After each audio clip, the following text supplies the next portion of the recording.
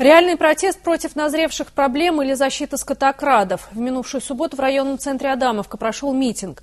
Неспокойно в районном центре уже давно. В этот раз на центральной площади собралось около 500 человек. Видео с мероприятия появилось на сайте Адамовский РФ.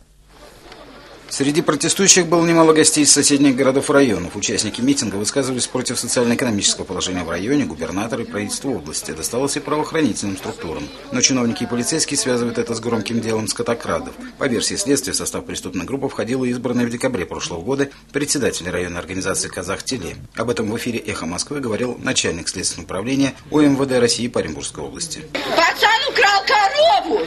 Жрать нечего, работы нет. И что, за это надо сажать? ребенка. В производстве следственной части Следственного управления находится уголовное дело в отношении группы, в которую ходили Кулахметов Канат Жульганович и Бондарев, а также другие члены. Всего семь человек. В отношении всех семи фигурантов в настоящее время избрана мера пресечения арест и предъявлено обвинение по статье 158 части 3. Это тяжкий состав, начиная с 2008 года по 2013 год включительно. Преступниками похищено 125 лошадей. Досталось и главе районной администрации Сергея Явкина, но руководитель ничего плохого в этом не видит. Из-за чего все эти люди собрались? Потому что мы не доверяем вам. Люди выступили, пар выпустили тут. Запретить это мы не можем. Конократство, они там вопросы это не поднимали, так бы подняли, это не поднимали, этот вопрос. Вопрос там к недоверию к органам внутренних дел, к полиции, к прокуратуре, к суду, uh-huh. это есть, эти требования были. И просьба разобраться побыстрее вот с этими всеми уголовными делами, которые есть. Я здесь стараюсь со всеми находить общий язык, пытаюсь, чтобы мирным путем все это проходило, но не всегда получается. Делом скотокрадов следователи занимаются два года, однако Сергей Явкин в декабре минувшего года на выборах председателя районной организации «Казахтеле» был, жал будущему подозреваемому руку и рассчитывал на дальнейшее сотрудничество.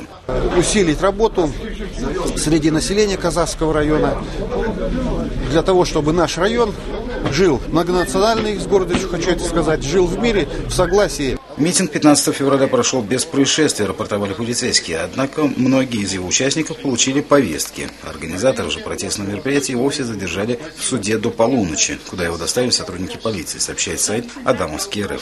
Хотя сотрудники пресс-службы МВД по Оренбургской области сообщили, что задержанных не было. Мне угрожает, что меня все равно вызовут на опрос. Дело скотокрадов полицейские обещают довести до суда. И тут политические страсти не повлияют, заверили в областном УМВД. Протестующие же подписали очередное обращение к власти. 这样。